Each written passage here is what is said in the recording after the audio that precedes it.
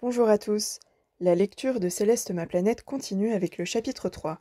Rappelez-vous, à la fin du chapitre 2, le narrateur a fini par retrouver Céleste, mais il l'a retrouvée dans un sale état.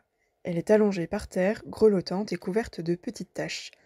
Voyons si le chapitre 3 nous expliquera pourquoi. Je te reconnais? Je ne pouvais pas prononcer un mot. Je te reconnais, répéta-t-elle. Tu es le garçon de l'école. Elle avait un sourire sur ses lèvres pâles. Qu'est-ce que tu fais là Et toi? Elle articula. Je crois que je suis malade. Dans son état, elle arrivait à être belle. Je crois aussi, Céleste. Je crois aussi que tu es malade. J'avais les yeux qui bouillonnaient dans l'ombre. Pourquoi es-tu venu me voir ici Parce que tu me manquais. Elle aurait pu répondre dans tes rêves, ou on ne s'est vu qu'une fois, ou encore je ne sais même pas ton prénom. Mais elle m'a dit Je suis contente. Sa mère était partie dans l'autre pièce et on entendait des murmures à côté. Je sentais en moi un bonheur douloureux. Je la regardais, couchée sur le béton froid. Une ampoule pendait au-dessus d'elle. La voix du géant résonnait parfois à côté. C'est mon père, dit-elle. Elle a peur qu'on nous jette dehors si on découvre ma maladie. Il s'occupe de la maintenance des ventilateurs de la terrasse. C'est à mon travail. Il a un salaire. Il m'avait inscrite à l'école la veille du jour où la maladie a commencé. Il était fier.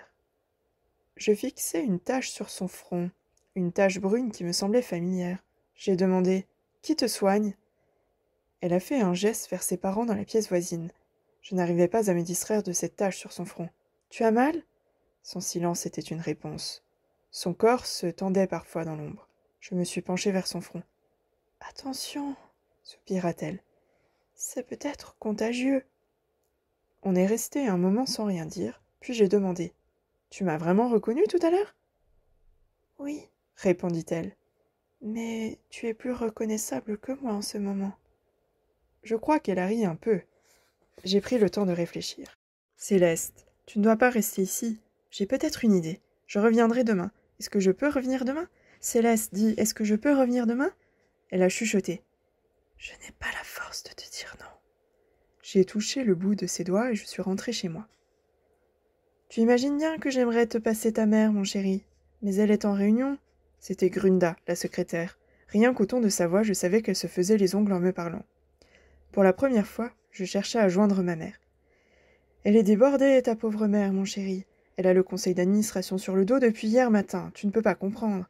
Tu appelles pendant la clôture des comptes, ça tombe mal. C'est vrai que pour moi, qui téléphonais à ma mère à peu près tous les quatorze ans, ça tombait mal. Dites-lui de me rappeler. Je le lui dirai, mon chéri, mais ne compte pas trop sur elle avant la fin de la semaine prochaine, ou le début de la suivante. Elle ne rappelle même pas le directeur général qui est pendu à son téléphone. Dis-moi donc si tu as besoin de quelque chose. Le frigo, le frigo sera rempli demain, lundi. J'ai besoin de parler à ma mère. Regarde un mon film et mange une pizza. Moi le doux, moi le tranquille, moi le pacifique, j'avais brusquement envie de me glisser dans le téléphone pour aller lui faire manger sa pizza par l'oreille à cette secrétaire. J'ai pourtant pris le ton le plus calme de la terre pour lui dire Très bien, Grunda. C'était juste un petit souci de santé. Et j'ai raccroché. Je savais que le mot santé était un mot magique. Je n'étais jamais malade, mais ma mère aurait pu monter trois pharmacies avec le contenu de l'armoire de la salle de bain. Sa seule manière d'exprimer son amour, c'était de s'inquiéter pour la santé des gens et de leur administrer gélules et suppositoires à la vitesse d'un pistolet mitrailleur. Un petit souci de santé. Je pouvais compter sur Grunda pour transmettre ce genre de message. Je me suis assis et j'ai compté jusqu'à vingt. Ça n'a pas manqué. Le téléphone a sonné. Maman Mon Dieu, tu es en vie, mon chéri. Le médecin de la société est en route. Tu m'as fait tellement peur. Avaler comprimés rouges avec de l'eau et les bleus à dissoudre. Allonge-toi. Maman, prends ta température en attendant le docteur. Mets une bouillotte sur ta tête et de la glace sur tes pieds. Il y a du sirop dans. Maman Je n'ai pas le temps, malheureusement. J'ai. Maman, écoute-moi Ce n'est pas moi qui vais mal.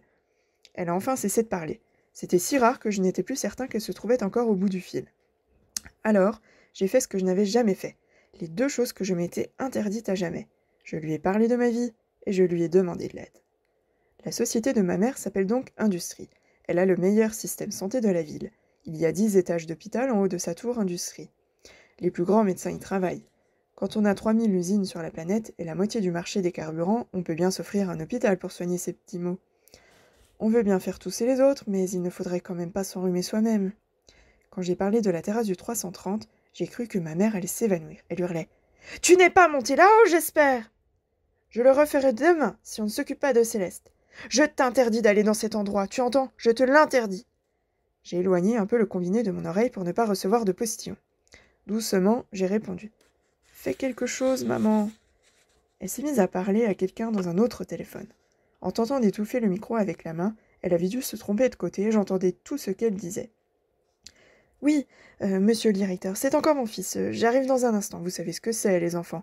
Je consacre beaucoup d'énergie à ma famille. C'est très prenant, mais c'est une telle joie. Et puis mon fils a une santé fragile. Je vous rejoins tout de suite, monsieur le directeur.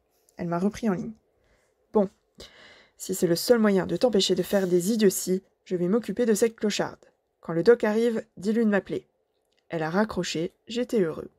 À partir de cet instant, tout a été très vite, comme dans les films. Quand Industrie décide quelque chose, ça va vraiment très vite. Le médecin a sonné à la porte. Il a immédiatement rappelé ma mère en salle de réunion. Il était minuit. Elle lui a donné des ordres, il a pianoté sur un petit écran qu'il avait dans la poche. Il m'a sur le palier, on a pris l'ascenseur. Il avait un code pour accéder au toit de la tour où j'habite. J'ai entendu un hélicoptère blanc s'approcher. Il s'est posé. On est monté en courant, comme au cinéma, les cheveux ébouriffés par le vent. L'hélico a décollé en se couchant légèrement pour faire plus aventureux. Il y avait à bord trois autres médecins en blouse blanche, dont deux femmes très belles et souriantes. Dans l'hélicoptère, on parlait fort. On mettait le pouce en l'air pour dire tout va bien. Le pilote paraissait sorti d'une publicité pour des montres. Les immeubles défilaient autour de nous. L'hélicoptère avait un projecteur qui balayait les façades. Et le 330 est apparu. On en a fait deux fois le tour. Chacun a mis un masque pour respirer. Le mien était trop grand. Je portais une sorte de dossard fluorescent. L'hélicoptère s'est posé sur la terrasse. Tu nous emmènes m'a crié le docteur. D'accord, Doc C'est lui qui m'avait demandé de l'appeler Doc, comme à la télé. Il m'a aidé à descendre. Deux autres suivaient avec un brancard. J'ai couru vers le refuge de Céleste. Quand j'ai soulevé la trappe, j'ai retiré mon masque pour que ses parents me reconnaissent. Ils étaient tout tremblants. Les médecins leur souriaient en disant des répliques de film comme Ça va bien se passer, tout est sous contrôle, on va s'occuper de votre fille. Je suis arrivée près de Céleste. Elle m'a demandé Mais, mais qu'est-ce que tu as fait? Et je me suis entendue parler comme les autres et dire une phrase du genre C'est fini, on prend les choses en main. Elle se laissait faire, elle n'avait pas l'énergie de résister. L'équipe l'a posée sur le brancard. Autrefois, je me demandais pourquoi les gestes de ces opérations d'urgence étaient si précis et si spectaculaires à regarder. La réponse, c'est que les victimes sont en si mauvais état qu'on peut les manier comme des marionnettes. Elles ne manifestent aucune résistance, et ça ressemble presque à de la danse. En partant, ils ont dit aux parents de Céleste On vous donnera des nouvelles. L'hélicoptère a quitté la terrasse au milieu du nuage noir. On voyait en bas les parents désarmés qui restaient là, perchés sur leur tour entre les turbines. Je tenais la main de Céleste. Il y avait toujours sur son front la petite tache familière. Je me demandais sans cesse ce que la forme de cette tache me rappelait. Il y avait aussi d'autres cicatrices nouvelles que je croyais reconnaître. Céleste dormait. Le pilote m'a déposé sur la tour Immensity où j'habite. Le doc répétait en criant que je pourrais venir voir Céleste le lendemain. Il m'a donné une carte magnétique pour entrer dans l'hôpital Industrie. Quand l'hélicoptère a décollé, j'ai réalisé que je n'avais pas rendu mon masque et mon dossard fluorescent. J'ai agité les bras vers l'appareil. Il s'éloignait dans la nuit en projetant des lumières sur le cristal des immeubles. J'ai laissé retomber mes bras le long du corps. Je n'arrivais pas à être vraiment fier de ce que j'avais fait. Je me souviens aujourd'hui de ce que je ressentais, une petite lassitude qui flottait dans mon corps. Ce n'était pas la fatigue, mais c'était une angoisse sourde. Devant mon cahier, avec cette immense étendue blanche autour de moi, je crois maintenant me rappeler cette sensation. Ce devait être ce qu'on appelle un pressentiment. L'hélicoptère s'en allait. Au fond de moi, je savais peut-être que cet oiseau blanc auquel j'avais confié Céleste ne l'emmenait pas vers un nid douillet et protecteur, mais vers le plus terrible nid de vipères.